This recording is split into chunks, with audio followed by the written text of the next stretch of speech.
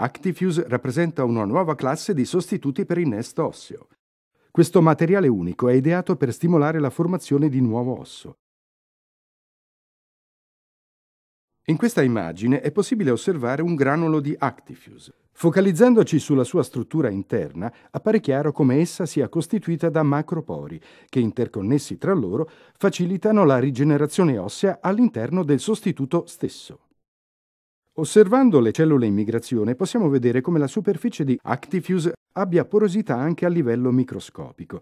Questa fitta microporosità permette al sostituto di adattarsi a diverse pressioni e di offrire una fitta rete di collegamenti tra una parte e l'altra del granulo.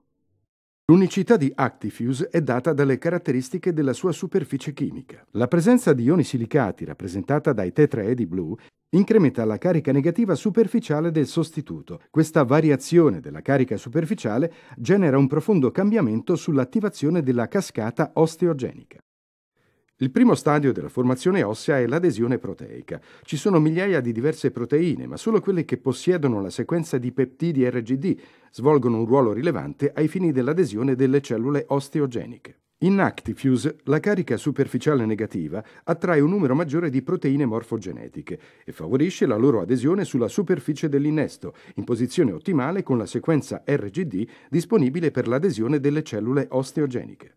Qui possiamo osservare la sequenza RGD delle proteine e vedere come la carica negativa attragga le proteine verso la superficie del materiale d'innesto e le unisca nella corretta conformazione, permettendo ad un maggior numero di esse di aderire alla superficie. Al contrario, l'area evidenziata in rosso rappresenta una superficie priva di carica negativa e in questo caso è possibile osservare come le proteine aderiscano in maniera differente, limitando l'ottimale adesione delle cellule. Le cellule precursori degli osteoblasti vengono attirate sulla superficie ricca di proteine. I punti di adesione delle cellule si spostano verso la superficie. Dove è presente un'elevata concentrazione di proteine, vi sono maggiori punti di adesione e in questo modo le cellule aderiscono più rapidamente e in maggiore concentrazione.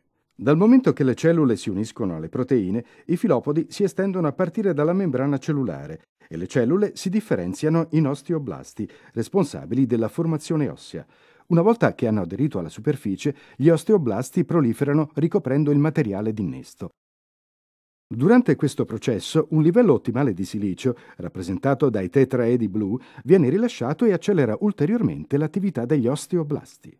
Gli osteoblasti si trasformano in cuboidi e cominciano a produrre matrice extracellulare.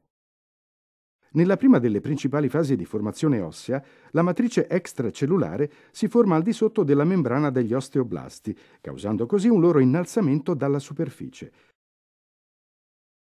Man mano che si forma sempre più matrice extracellulare, gli osteoblasti rimangono intrappolati in quest'ultima, formando gli osteociti, poi rimineralizzati in osso a fibre intrecciate, e questo rappresenta il secondo stadio della rigenerazione ossea.